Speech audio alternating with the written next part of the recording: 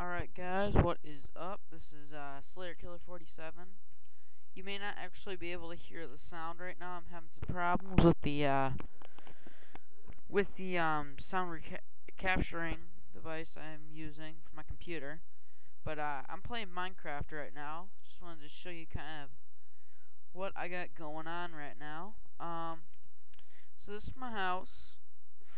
Uh, no big deal, you know, you got chest, crafting tables, furnace.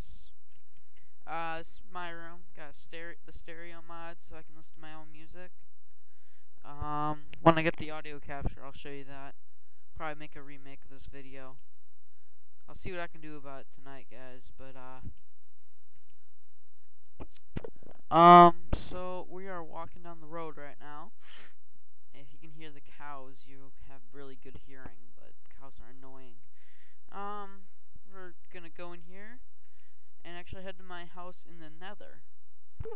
Now, what you're gonna notice about my, uh, my nether is you're gonna see some different items down here on the bottom, and my nether might look a bit different because I'm using the, uh, nethercraft mod, which adds more items, monsters, uh, add some trees and plants and that kind of thing.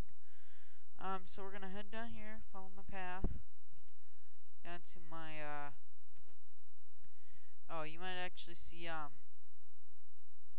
see that down there, that's, I'll show you that in a second, where that's coming from. Um, so, yeah, this is my house. Uh, not a whole lot, you can see it says library, but I haven't had time to put that in.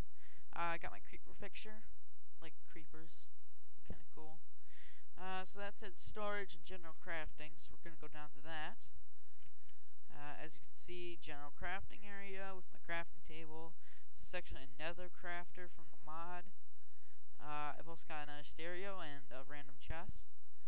So I keep all my minerals I find, which is also added in nether in uh, nethercraft. A lot more minerals to find in nether. So mod basically makes it so you never have to leave. Uh, this is my, um, mine.